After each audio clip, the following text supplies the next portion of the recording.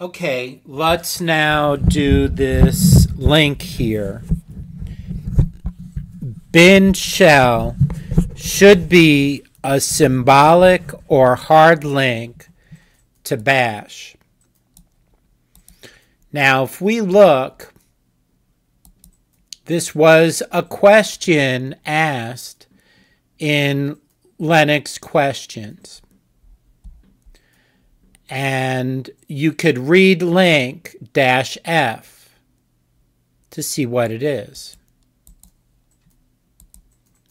So bin shell should be a symbolic or hard link to bash. Let's see what it is. It goes to dash, D A S H, not bash. Now, if um,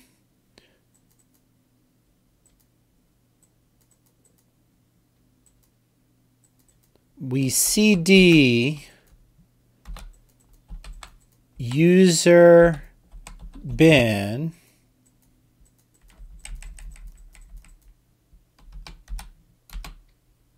ls let's go up and look. We got bash here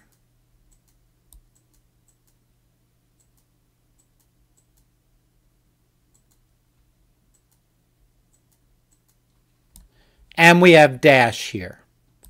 So we need it to be to bash, not dash.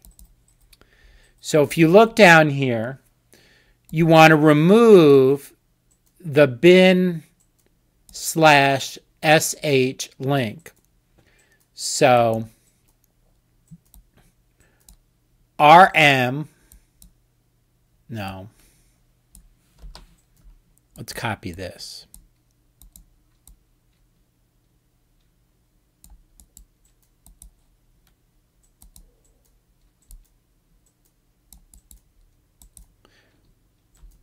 I'll just write it, whatever.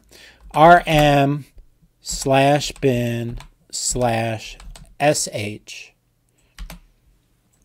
Oh, sudo.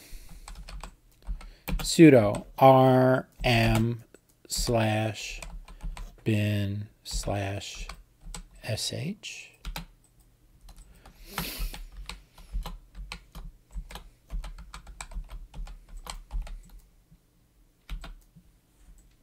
Okay, so now if we read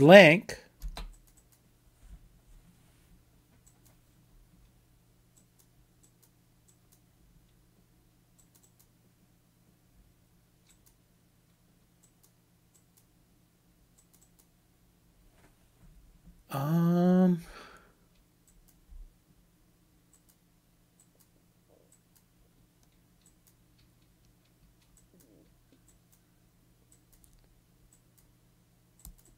Then we link.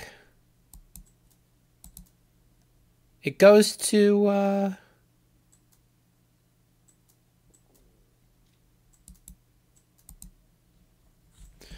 ln is link dash S is symbolic. I have to sudo everything here.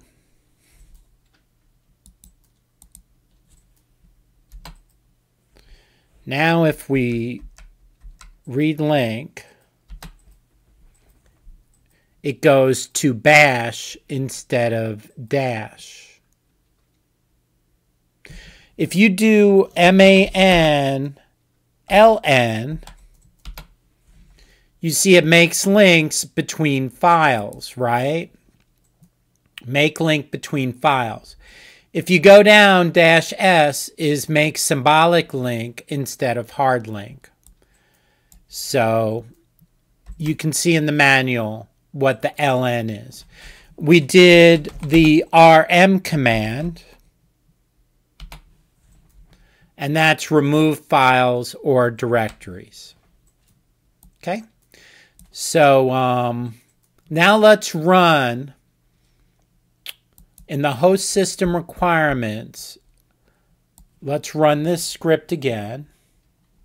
Pretty sure it's called a script.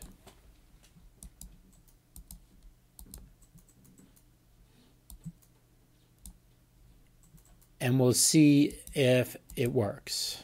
Enter. Okay, um, look, goes to bash.